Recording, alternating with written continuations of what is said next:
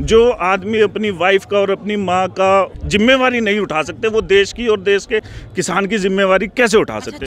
इसको किसान की ज़रूरत ही नहीं है। ये एक तरीके से ऐसा है कि ज़बरदस्ती किसानों के ऊपर थोपा जा रहा है। किसान जो है एक तरीके से अपनी ही ज़मीन पर मजदूर बनकर रह जाएगा।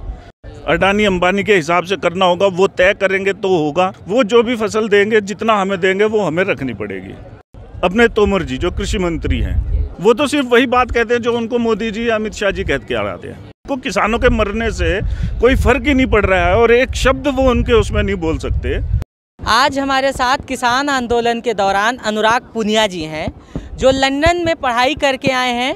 टूरिज़्म मैनेजमेंट की पढ़ाई की है इन्होंने। इनसे जानना चाहेंगे कि कैसे किसान आंदोलन में शरीक होने का विचार है आपके अंदर? एक्चुअली एक तो मैं क्योंकि किसान का लड़का हूँ गाँव से जुड़ा हुआ हूँ खेती क्या है कैसे है सब कुछ उस चीज़ को देखता हूँ। तो देखिए गवर्नमेंट कोई भी आए लेकिन कभी भी कोई भी गवर्नमेंट किसान की तरफ़ इतना ध्यान नहीं देती है। और देती भी है तो बहुत कम देती है। अभी जैसे अपनी अब क्योंकि मौजूदा गवर्नमेंट के बारे में बात करेंगे हम अब जैसे ये तीन बिल लेकर आई है इसको किसान की ज़रूरत ही नहीं है। ये एक तरीके से ऐसा है कि ज़बरदस्ती किसानों के ऊपर थोपा जा रहा है। क्योंकि इससे कोई आय दुगनी नहीं होनी है। इसमें क्या है बेसिकली किसान जो है एक तरीके से अपनी ही ज़मीन पर, अपने ही खेतों पर एक तरीके से मजदूर बनकर रह जाएगा। अभी हमारा देश जो है, क्योंकि जो हमारे प्रधानमंत्री हैं, प्रधान सेवक जी हैं, वो तानाशाही की तरफ़ बढ़ रहे हैं। और जैसे पहले के टाइम में आज़ाद होने से पहले ईस्ट इंडिया कंपनी थी, वो हमें लूटते थे, ऐसे ही इसमें होगा। उसमें क्या होता था, जो गवर्नमेंट होती थी या आप ये कहिए ईस्ट इंडिया कंपनी होती थी, अंग्रेज़ लोग जो होते थे, वो हर गाँव में या हर एरिया में एक ज़मींदार को छोड़ते थे, अपना एक नुमाइंदा छोड़ते थे, जो उनसे अगुवाई करता था और उनको देता था, सिर्फ़ किसानों को उतना ही देता था जिनकी इतनी ज़रूरत होगी। यही काम जो है प्रेजेंट गवर्नमेंट करने जा रही है। इसमें क्या होगा कि सब चीज़ हमारी होगी, एक तो काम हमें उनके हिसाब से करना होगा। अडानी अंबानी के हिसाब से करना होगा, वो तय करेंगे तो होगा। वो जो भी फ़सल देंगे, जितना हमें देंगे, वो हमें रखनी पड़ेगी। तो उसमें वो नहीं होगा। अभी बीच में क्या हुआ था, एक कोई चिप्स की कंपनी थी, फॉर एग्जांपल मैं आपको ये बता रहा हूँ। एक चिप्स की कंपनी थी, उसने आलू के लिए बोला, किसान को कि भाई मैं इतना किसान जो है, मैं इतना आलू लूँगा, आप आलू उगाओ। किसानों ने आलू उगाया। उसके बाद जब उन्होंने देखा कि बम्पर आलू निकला है और वो सारा आलू नहीं ले सकती तो उन्होंने क्या ऑप्शन डाल दिया कि भाई जो इस गोल घेरे से जो है आलू निकलेगा, वो हमारे फ़ायदे का है, जो इससे छोटा या बड़ा है इट्स यूजलेस तो वो उन्होंने वापस कर दिया। अब वो किसान कहाँ लेकर जाएगा उसको? तो ये स्टार्टिंग में क्या होता है कि किसानों को उसके फ़ायदे गिनाए जाते हैं। लेकिन बाद में जब कोई कंपिटिटर मार्केट में नहीं रहेगा, कोई पूछने वाला नहीं रहेगा तो जो पूंजीपति हैं, जो चंद पूंजीपति हैं बेसिकली जो मोदी जी के इलेक्शन कैंपेन्स में और इन सब चीज़ों में अपना पूंजी लगाते हैं सिर्फ़ और सिर्फ़ उनका हिसाब से सारा कुछ होगा। अच्छा एक चीज़ मैं बेसिक क्वेश्चन आपसे जानना चाहूँ। आप तो पढ़े लिखे हैं वहाँ से पढ़ के आए हैं लंदन से पढ़ के आए हैं। कृषि मंत्री जी कह रहे हैं कि इस बिल में इतनी खासियत है कि किसान इसकी खासियत पे चर्चा ही नहीं करना चाह रहे हैं उन्हें तो सिर्फ़ इस पर बुराई नज़र आ रही है। एक्चुअली क्या है देखिए अगर खासियत होती तो पहली तो बात है वो चुपचाप क्यों लेकर आते इस बिल को? बिना डिस्कशन के बिना किसान नेताओं के साथ। अब वो पीयूष गोयल जी को लेके गए हैं। पीयूष गोयल जी क्या है? Is a C A basically CA क्या होता है? Chartered accountant balance sheet maintain करता है। उसको ये पता है कि जो मेरा पूंजीपति है मुझे उसका पैसा कैसे बचाना है? बेसिक उसका यही होता है चार्टेड अकाउंटेंट का। दस लाख की इनकम को वो पाँच लाख की कैसे दिखाना ये काम होता है उसका। तो वो किसानी, खेती और ज़मीन के बारे में क्या जानता है? वो कैसे सेटिस्फाई कर सकता है किसान को? दूसरी बात, अपने तोमर जी, जो कृषि मंत्री हैं, वो तो सिर्फ़ वही बात कहते हैं जो उनको मोदी जी, अमित शाह जी कहते आ रहे हैं।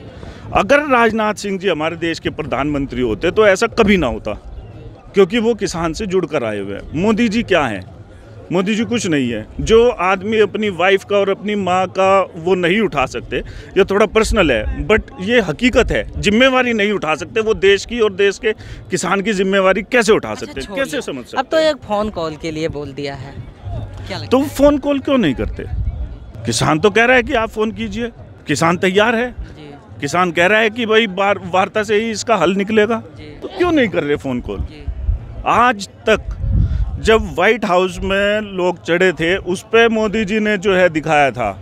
लेकिन यहाँ पर डेढ़ सौ से ज़्यादा किसान मर चुके हैं। आज तक एक शब्द संवेदना का उनके मुँह से नहीं आया है। क्यों? कोई तो रीज़न है। फिर? तो वो वो कैसे इस बिल को पास होने देंगे? जिनको किसानों के मरने से कोई फ़र्क ही नहीं पड़ रहा है और एक शब्द वो उनके उसमें नहीं बोल सकते तो उनको क्या फ़र्क पड़ता है? लेकिन मुद्दे का हल निकालने के लिए तो बातचीत ही तो माध्यम है। बातचीत माध्यम है। लेकिन बातचीत करे तो सही मोदी जी जी, वो पीयूष गोयल जो सीए हैं उनको बिठा देंगे। और दूसरा नरेंद्र तोमर जो उनको कहते हैं वही वो बोलते हैं उससे आगे वो कुछ नहीं बोलते हैं। और 26 जनवरी से पहले तो नरेंद्र तोमर जी ने भी ये कहा था कि बहुत जल्दी ये धरना खत्म हो जाएगा। उस टाइम तक तो कोई सोल्यूशन नहीं निकला था। फिर उन्होंने किस बेस पे ये कहा था कि ये धरना खत्म हो जाएगा? आगे अगर बातचीत होगी तो आपको क्या लगता है कि सकारात्मक नतीजे आएँगे? बिल्कुल डेफिनेटली पूरा किसान इस चीज़ के लिए है कि सकारात्मक आने चाहिए हमारे लिए क्योंकि हर आदमी यहाँ बैठा हुआ है इतनी दूर दूर से आके उनके पास काम है किसान के पास काम बहुत है। गन्ना कट रहा है गन फिर फ़सल आगे गेहूँ तैयार हो जाएँगे काम बहुत है किसान के पास। लेकिन मजबूरी है जब ज़मीन ही नहीं रहेगी तो क्या करेगा आदमी? किसान क्या कर... इस देश की 65 परसेंट पॉपुलेशन जो है वो एग्रीकल्चर के ऊपर डिपेंड है। जी। 65 और 17,000 अरब। जी सत्रह हज़ार अरब का बिज़नेस है ये। आप ये गेम देखिए सत्रह हज़ार अरब और पैंसठ परसेंट की जनसंख्या। अगर आप चंद पूंजीपतियों को दे दोगे तो आधा भारत आधे से ज़्यादा भारत तो वैसे ही गुलाम हो गया। हम सकारात्मक नतीजों पे अगर बात करें तो आप क्या सजेशन देना चाहेंगे? देखिए सजेशन तो यही है कि एमएसपी पे कानून बन जाए। सरकार कह रही है कि वो रिटर्न में दे देंगे। रिटर्न क्या होता है? कानून तो ऐसा कुछ नहीं है। उसके बाद क्या है किसान अपनी वो बात कोर्ट में रख सकता है। ऐसा कुछ वो बनाए। अभी तक ऐसा था ही नहीं कुछ भी। वो तो कह दिया जो इतने बड़े एक बात से शिकायत कर सकता है। शिकायत कर सकते आप एक बात बताइए। एक बात बताइए। जो पूंजीपति जिसके सामने गवर्नमेंट बीजेपी गवर्नमेंट नतमस्तक है एसडीएम क्या है उसके सामने? कुछ मैटर करता है? एसडीएम या डीएम कुछ मैटर करता है? कुछ नहीं मैटर करता है। तो कहाँ जाएगा गरीब किसान? जिसके पास पाँच बीघे का है, पंद्रह बीघे का है, बीस बीघे का किसान है, वो उनसे लड़ेगा या अपनी खेती करेगा? अब उनके पास तो स्पेशल आदमी होते हैं इसीलिए।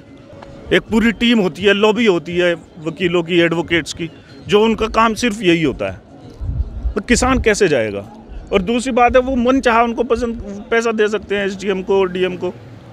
उससे भ्रष्टाचार भी फैलेगा तो वो क्यों मानेगा किसान की बात, जिससे उनको कुछ नहीं मिलना? ठीक है आपने बातचीत की हमसे अपनी बात रखी आपका बहुत बहुत धन्यवाद। थैंक यू वेरी मच हमारे साथ यूके से टूरिज़्म की पढ़ाई करके आए अनुराग पुनिया जी रहे।